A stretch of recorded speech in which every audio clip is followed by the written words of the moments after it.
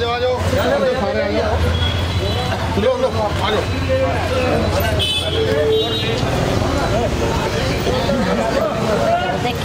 आप देख रहे हैं जनमत की पुकार न्यूज़। अभी पहुँचे हैं पार्षद को याद करें हमारे नीरज गुप्ता के ऑफ़िस में जहाँ ये दिवाली बांट रहे हैं। सर क्या कहेंगे सर दिवाली के बांट रहे हैं आप? दिवाली की जो मेरे क्षेत्र के कर्मचारी और मेरे साथी कर्मचारी तो नहीं कहूँगा मेरे साथ जो कंधे से कंधा मिलाकर चलते हैं, उनकी वजह से आज क्षेत्र में मेरा नाम है। जो ये काम करते हैं, उसकी वजह से मेरा नाम और मेरे साथ साथ भारतीय जनता पार्टी का नाम है। जो ये काम करते हैं, उसकी वजह से दिखाई देता है क्षेत्र साफ़ है।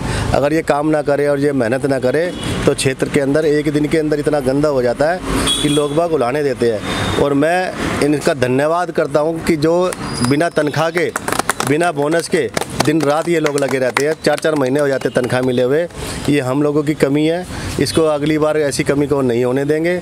और जो ये काम करते हैं उसकी वजह से मेरा नाम है आज क्षेत्र में। एक तो सर पूरे देश में दिवाली का उमंग है। और दूसरी तरफ़ हरियाणा में और महाराष्ट्र में आपकी सरकार बन रही है। सर कितने खुश है कितने गदगद है आप? बम बम हैं?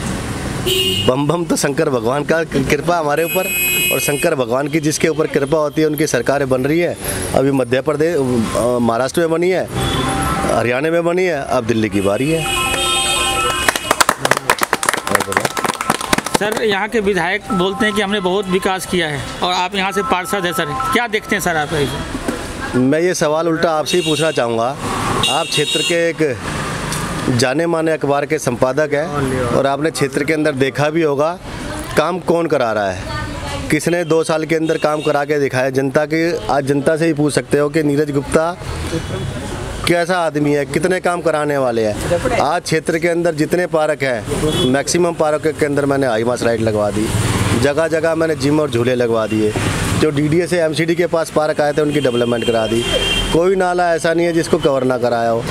कोई दिल्ली के अंदर वार्ड ऐसा नहीं है जिस वार्ड के अंदर दो दो स्विमिंग पूल हो।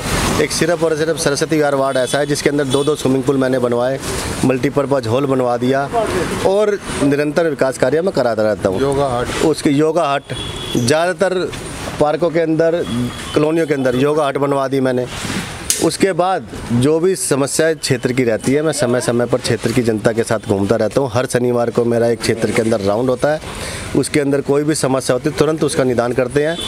और साढ़े पाँच साल केजरीवाल सरकार के मंत्री सत्येंद्र जैन को बने हुए हो गए। उनसे पूछा जाए कि क्या काम कराया आपने? आपने मेरे से तो पूछा। उनके काम देख लो और मेरे दो साल के काम देख लो। कौन अव्वल आएगा इसमें?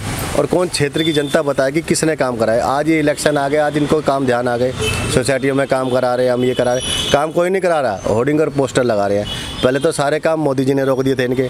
अब मोदी जी ने कोई काम नहीं रोका। पहले कोई काम कराने की इच्छा ही नहीं होती थी। जिस व्यक्ति की जिस चुने हुए प्रतिनिधि की काम कराने की इच्छा होगी वो कभी ये नहीं कहेगा कि मुझे उससे एनओसी ला के दे दो। सत्येंद्र जैन से तरुण के लिए प्रत्यक्ष आपके सामने है।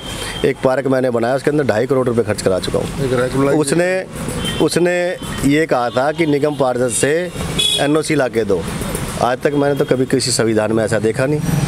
कि निगम पार्षद एमएलए को एनओसी देगा और एमएलए मेंबर ऑफ़ पार्लियामेंट को, जिसकी काम कराने की इच्छा होती है, वो किसी ना किसी तरीके से अपने तरीके निकाल के काम करा सकता है। आज सत्येंद्र जैन जगह जगह जाके बोलता है कि हमारे को एमसीडी का काम नहीं करने दे एमसीडी के साढ़े पाँच साल से तो आपने पैसे नहीं दिए। आज ये जितनी जनता खड़ी है, हमारी क्षेत्र की कार्यकर्ता कर्मचारी खड़े हैं, इनकी तनख्वाही नहीं मिली, इनको बोनस नहीं मिले, फिर भी ये काम कर रहे हैं। एमसीडी को पंगू बनाने के लिए हर हथकंडे केजरीवाल सरकार अपना रही है। काम हमने किया और जो कहते हैं और वो करते भी है।